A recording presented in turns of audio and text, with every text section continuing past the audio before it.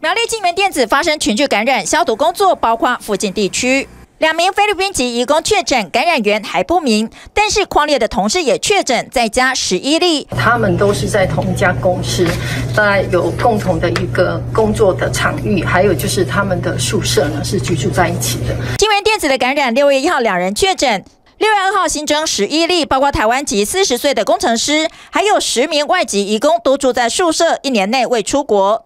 担心疫情扩大，县府专案处理。六月三号全公司快筛估计七千三百人。另外还有新增案八九八五，是三十三岁的台湾男性作业员，不属于金源电子公司。六月三号，呃，启动全公司的快筛，呃，预计筛检的人数高达七千三百人，务必。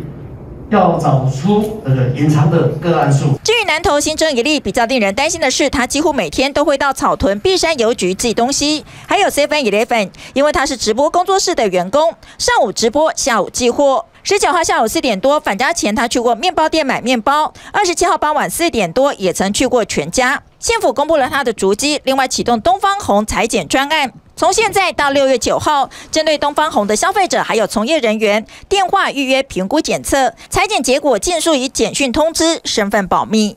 TBS 新闻谢古金陈家贵吴淑平苗栗南投报道，请订阅、按赞、分享 TVBS News 频道，要开启小铃铛哦。还有还有，下载 TVBS 新闻手机 App，随时掌握国内外大事。